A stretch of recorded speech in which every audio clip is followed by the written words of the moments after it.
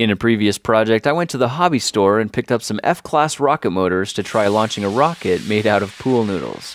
Now these motors are amazing, but the catch is they're $17 each. So in this project, let's see if we can use powdered sugar and kitty litter to make a homemade version that'll rocket up over 2,000 feet high and cost less than 50 cents to make.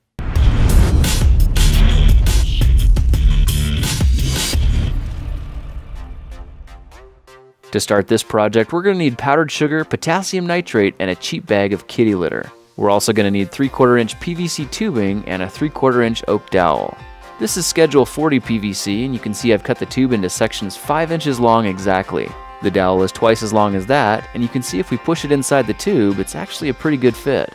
This will be a ramming rod and a template as well, and the markings you see on the stick are designed to make the simplest form of an E45 equivalent rocket motor.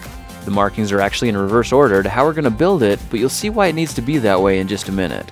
Alright, let's get ready to make the rocket fuel, and to start off, we're going to need a small blender that we're not afraid to damage.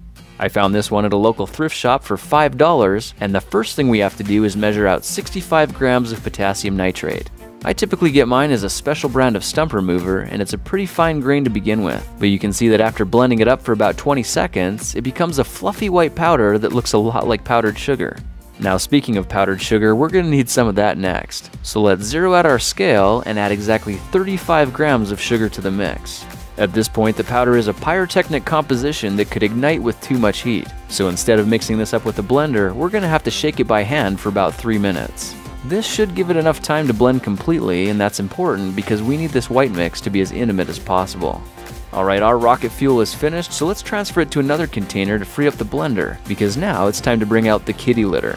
This 7 pound bag was only 98 cents, and surprisingly, the cheap kind is the best kind because it doesn't have any fragrances or dyes added to it. It's just a big bag full of bentonite clay, which is probably why the stuff is as cheap as dirt. Alright, let's throw a handful of clay into the blender for 10 to 20 seconds so it grinds into a powder. Holding the blender at a bit of an angle helps mix it better and reduces the load on the motor as well. Now when it's time to remove the lid, it's important to wear a mask or do it outside because you can see the powder is so fine it escapes like a gas, and it's not really good to breathe this stuff in.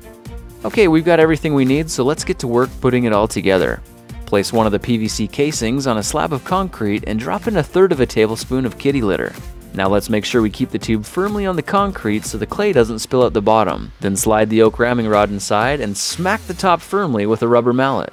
It's going to need about 5 to 10 good whacks to compact it as tight as we need it, and you can see it'll make a nice little clay plug at the bottom of the tube.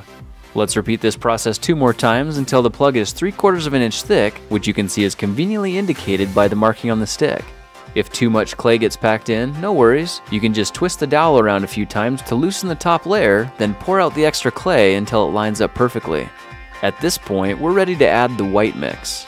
This stuff is extremely light and fluffy, so it's important to push the ramrod down very slowly. Once it's compacted by hand though, we can ram it with the mallet just like we did the clay until the rammed white mix lines up perfectly with the next marking. The last step for this simple motor is a kitty litter end cap. This will be 3 quarters of an inch thick as well, the same as the one we made before, but here you can see there's still little room left in the tube and you'll see what that's for in another project video. Okay, our rocket motor is just about finished, the only thing left to do is make the nozzle.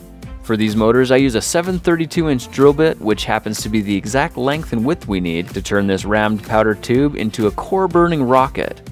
Now to gauge the depth on how far in to drill, we can use the markings on the ramrod to measure exactly where the white mix ends, then mark the drill bit at the point where it lines up with the clay. Now it's really important to drill this out very slowly and carefully because remember, this is a rocket motor and you don't want to set it off by accident. I'm drilling mine out by hand so it's easy to control any heat generated from the friction. When the marking on the bit lines up with the bottom of the casing, the rocket motor is finished and should look something like this. Now to test the power of these motors, I went way out into the desert, miles and miles away from any people, property, or anything flammable. When this one lit off, I was blown away by what it could do. The motor just shot up 2,300 feet high, and of course if we've got rockets going that high, we're going to need a way to deploy some kind of a recovery system. So the next step is to give our rocket motors a built-in time delay and a parachute ejection charge.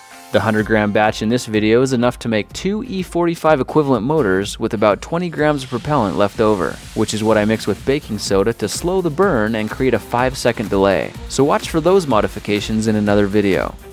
Well, now you know how to repurpose some simple household items into powerful hobby rocket motors for less than 50 cents each. Just make sure you have the right permits, location, and common sense before you try launching them.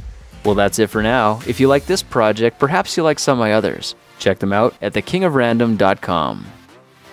Hold on just a second. If you are even considering the thought of trying to build one of these, please promise me you'll do one thing first. Get on Google and do a search for local rocket clubs. They don't cost much and they'll have the best idea of how to keep you out of trouble with the FAA and make sure nobody gets hurt. Having said all that, I hope you felt the same excitement for this project that I did. I've spent four years playing with different variations of sugar motors to get to this point, so I'm super excited to finally be able to present this to you.